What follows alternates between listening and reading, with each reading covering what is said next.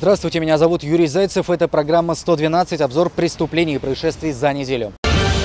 Следователи разбираются в обстоятельствах ДТП с участием микроавтобуса, в котором погибли 6 человек. Еще два человека, в том числе ребенок, получили тяжелые травмы. Микроавтобус двигался из города Донской Тульской области в Москву. На участке трассы М4 недалеко от города Домодедово он столкнулся с попутной фурой, после чего загорелся. Известно, что у водителя не было лицензии на перевозку. После трагедии в Тульской области начались массовые проверки по выявлению нелегальных перевозчиков. По одной из версий аварию спровоцировало другое небольшое ДТП ДТП. Водитель фуры снизил скорость. На маневр не среагировал 39-летний мужчина за рулем микроавтобуса.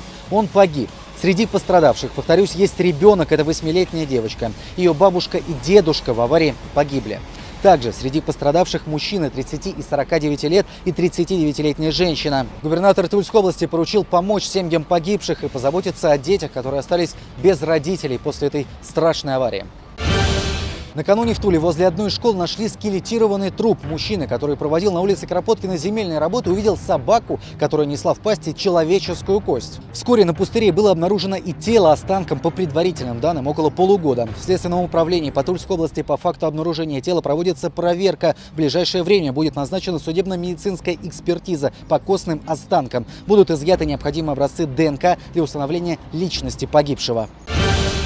Прокуратура добилась ужесточения наказания бывшему заместителю начальника управления по контролю за оборотом наркотиков регионального МВД Дмитрию Калинину. Он в октябре прошлого года был осужден за крышевание секс-притона. С 2015 по 2018 годы Калинин ежемесячно получал по 10 тысяч рублей от владельца борделя на улице Мира в Туле. За все время набралось 260 тысяч незаконных рублей.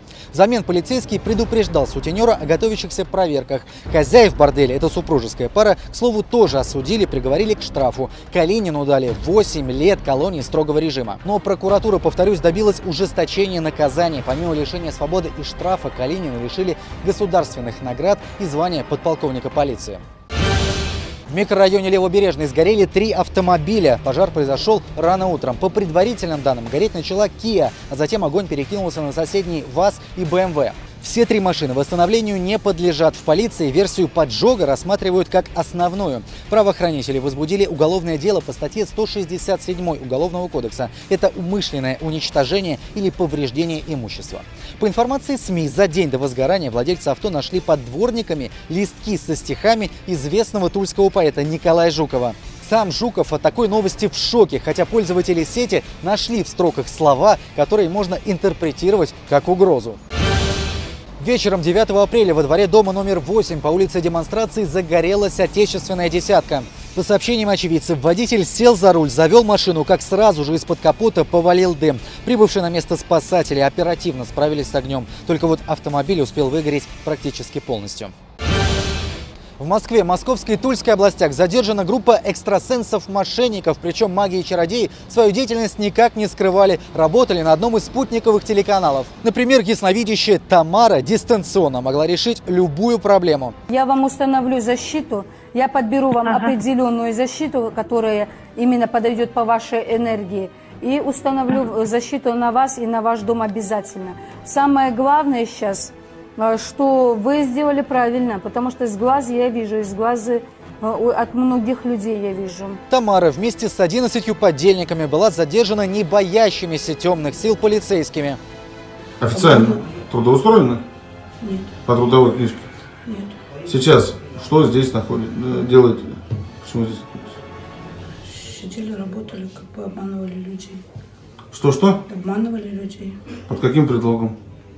То, что все в жизни наладится, все будет хорошо. Поводом для задержания мошенников стало обращение пенсионерки, которая хотела снять порчу с родственника и лишилась трех миллионов рублей. По сути, добровольно, но это мошенничество. Звонки в колл-центр шли со всей России. О суммах, которые текли в руки волшебников и колдунов, стоит только догадываться. Впрочем, теперь это дело полиции. При обыске правоохранители обнаружили и изъяли банковские карты, платежные поручения, а также компьютерную технику с базой клиентов.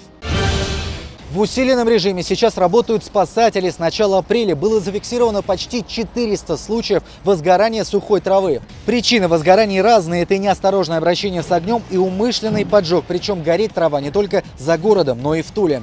На прошлой неделе огонь подобрался к заправке на улице Ложевой, а накануне трава горела в непосредственной близости от жилого комплекса Юго-Восточный на улице Кауля. Очевидец сообщил в нашу редакцию, что звонок в службу 112 был осуществлен практически сразу после начала возгорания но горел сухостой около полутора часов. К счастью, серьезных последствий удалось избежать.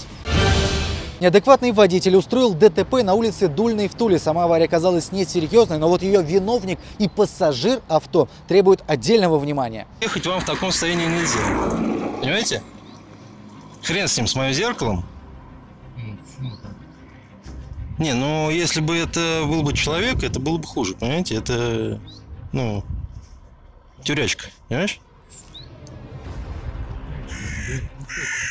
Да, не залипайте, давай, ключи.